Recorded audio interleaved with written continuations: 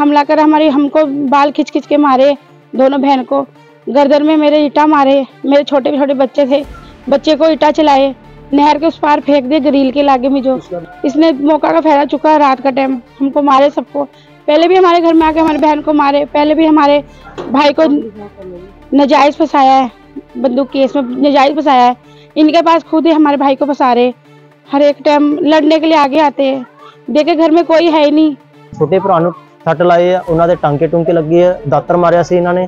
ਤੇ ਸਾਨੂੰ ਸਾਡੇ ਘਰ ਜਨਾਨੀਆਂ ਨੇ ਇੱਕ ਦੀ ਡਿਲੀਵਰੀ ਕਿਸਮ ਵਾਲੀ ਆ, ਦੂਜੇ ਦੀ ਜਿਹੜੀ ਵੱਡੀ ਆਪਰੇਸ਼ਨ ਨਾਲ ਗੁੜੀਆ ਹੋਈ ਆ, ਇਹ ਅੰਦਰ ਤੱਕ ਵੜਨ ਚੱਲਿਆ ਸੀ ਜੇ ਅਸੀਂ ਨਾ ਮਾੜਾ ਮੋਟਾ ਦਰਵਾਜ਼ਾ ਬੰਦ ਕਰੀਏ ਤੇ ਸਾਡੇ ਕੋਲ ਤੇ ਫਿਰ ਤੇ ਕੋਈ ਗੁੰਜਾਇਸ਼ ਨਹੀਂ, ਇਹਨਾਂ ਨੇ ਮਾਰ ਦੇਣਾ ਸੀ ਸਾਡੇ ਬੱਚਿਆਂ ਨੂੰ, ਜਿਸ ਤਰ੍ਹਾਂ ਅੰਨੇ ਵਾਂਗੂ ਪੱਥਰ ਚਲਾ ਰਹੇ ਸੀ ਰਾਤੀ। ਤੇ ਅਸੀਂ ਪੰਜਾਬ ਪੁਲਿਸ ਨੂੰ ਰਾਤੀ ਫੋਨ ਕੀਤੇ ਸੀ ਥਾਣੇ ਵਿੱਚ ਤੇ ਫਿਰ ਮੌਕੇ ਤੇ ਆਈ ਹੈ ਪੰਜਾਬ ਪੁਲਿਸ ਤੇ, ਉਹਨਾਂ ਨੇ ਧੱਕੇ ਧੁੱਕੇ ਮਾਰ ਕੇ ਗਿਆ ਹੈ ਉਹਨਾਂ ਨੂੰ।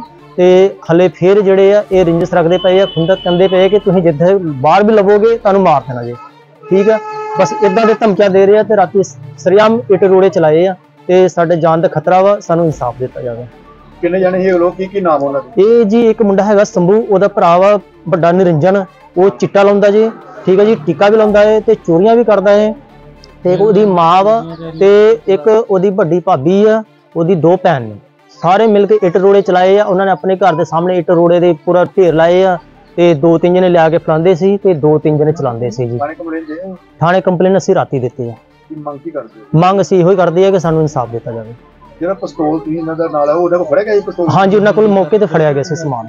ਪੰਜਾਬ ਪੁਲਿਸ ਦੇ ਵੱਲੋਂ। ਰੰਜਿਸ਼ ਦਾ ਕੀ ਕਰਨ ਹਾਂਜੀ ਉਸੇ ਖੁੰਦਕ ਕੱਢਦੇ ਪਏ ਜੀ। ਸਵੇਰੇ ਜੀ ਸੰਭੂ ਨਾਮ ਦਾ ਮੁੰਡਾ ਜੀ। ਠੀਕ ਹੈ ਜੀ ਇੱਥੇ ਸਾਡੇ ਗਵਾਂਢੀ ਰਹਿੰਦਾ ਹੈ। ਤੇ ਕੁਝ ਦਿਨ ਪਹਿਲੇ ਇਹਦੇ ਕੋਲ ਨਜਾਇਜ਼ ਵੈਪਨ ਸੀ ਤੇ ਉਹ ਲੁੱਟਾ ਖਵਾ ਕਰਦਾ ਸੀ ਤੇ ਨਜਾਇਜ਼ ਕਿਸੇ ਦੇ ਨਾਲ ਵੀ ਕਰ ਦਿੰਦਾ ਸੀ। ਠੀਕ ਹੈ ਜੀ? ਤੇ ਇਹ ਅਸੀਂ ਪੰਜਾਬ ਪੁਲਿਸ ਨੂੰ ਸੂਚਨਾ ਦਿੱਤੇ ਸੀ ਕਿ ਇਹਨਾਂ ਕੋਲ ਨਜਾਇਜ਼ ਅਸਲੇ ਨੇ, ਵੈਪਨ ਨੇ ਤੇ ਇਹਨਾਂ ਨੂੰ ਕਾਬੂ ਕਰੋ ਕਿਉਂਕਿ ਇਹ ਨਜਾਇਜ਼ ਕਿਸੇ ਨੂੰ ਵੀ ਕਰ ਸਕਦੇ ਆ। ਸ਼ਰਾਬ ਪੀ ਕੇ ਬਹੁਤ ਹੀ ਜ਼ਿਆਦਾ ਮਤਲਬ ਕਿ ਹੁੜਦੰਗ ਮਚਾਉਂਦੇ ਆ। ਠੀਕ ਹੈ ਜੀ?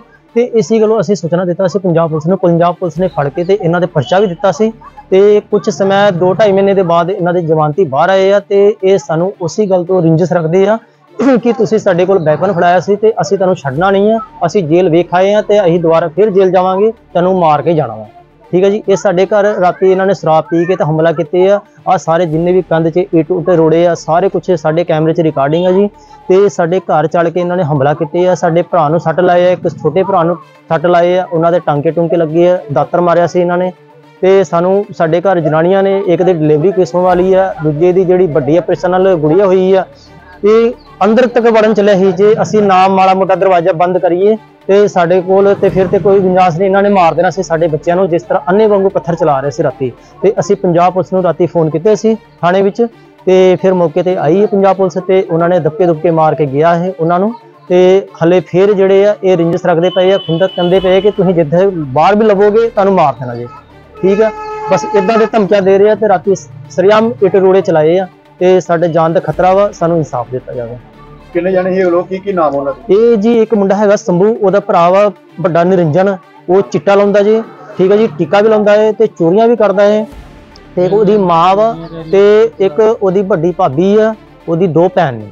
ਸਾਰੇ ਮਿਲ ਕੇ ਇੱਟ ਰੋੜੇ ਚਲਾਏ ਆ ਉਹਨਾਂ ਨੇ ਆਪਣੇ ਘਰ ਦੇ ਸਾਹਮਣੇ ਇੱਟ ਰੋੜੇ ਦੇ ਪੂਰਾ ਢੇਰ ਲਾਏ ਆ ਤੇ ਦੋ ਤਿੰਨ ਜਣੇ ਲਿਆ ਕੇ ਫਲਾਉਂਦੇ ਸੀ ਤੇ ਦੋ ਤਿੰਨ ਜਣੇ ਚਲਾਉਂਦੇ ਸੀ ਜੀ। ਥਾਣੇ ਕੰਪਲੇਂਟ ਦੇ ਥਾਣੇ ਕੰਪਲੇਨ ਅਸੀਂ ਰਾਤੀ ਦਿੱਤੀ ਆ। ਕੀ ਮੰਗ ਕੀ ਕਰਦੇ ਮੰਗ ਅਸੀਂ ਇਹੋ ਹੀ ਕਰਦੇ ਆ ਕਿ ਸਾਨੂੰ ਇਨਸਾਫ ਦਿੱਤਾ ਜਾਵੇ। ਜਿਹੜਾ ਪਿਸਤੌਲ ਤੁਸੀਂ ਇਹਨਾਂ ਦਾ ਨਾਲ ਉਹ ਉਹਨਾਂ ਕੋਲ ਫੜਿਆ ਗਿਆ ਜੀ ਪਿਸਤੌਲ? ਹਾਂਜੀ ਉਹਨਾਂ ਕੋਲ ਮੌਕੇ ਤੇ ਫੜਿਆ ਗਿਆ ਸੀ ਸਮਾਨ।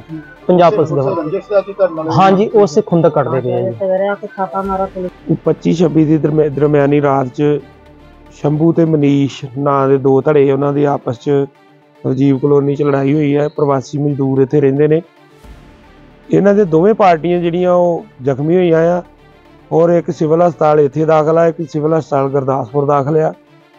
ਦੋਨਾਂ ਦਾ ਜੋ ਵੀ ਕਾਰਵਾਈ ਅਜੇ ਤੱਕ ਸਾਨੂੰ ਕੋਈ ਐਮਐਲਆਰ ਰਿਸੀਵ ਨਹੀਂ ਹੋਈ।